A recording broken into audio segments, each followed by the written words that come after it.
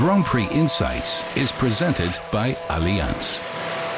On our Mercedes GP Petronas Formula One car, the aerodynamics are crucial for its performance. If during the winter we've managed to develop the best aerodynamics compared to everybody else in the field, then there's a great chance that we'll be winning races.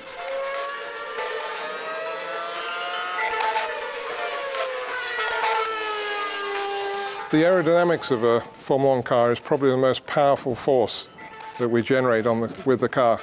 And it's probably the key area for the performance of a Formula One car. It's mainly always a compromise between trying to find the most possible downforce, so load on the track, compared with the least possible drag, which slows you down on the straights. An example of how powerful the aerodynamics are was the F-duct last year, where a tiny hole in the rear wing had such a huge effect and made us a couple of tenths per lap faster. Uh, and another good example where the aerodynamics are very powerful is in fast corners.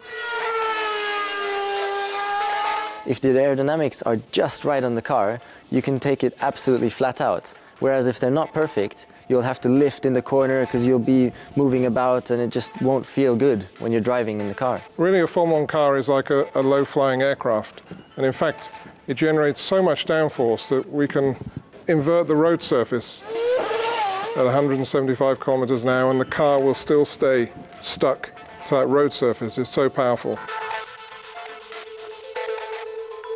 There's about more than 100 people working just on the aerodynamics in our factory. Every surface of the F1 car is thought about. You know, they, they consider everything for the aerodynamics so that the air flows as smoothly as possible over the car.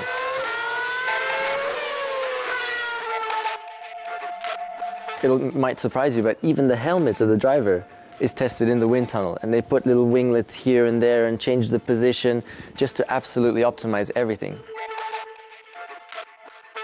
It's such an important part of the performance of a Formula One car that we, we have our largest department here at Mercedes GP Petronas devoted to the aerodynamics of the car.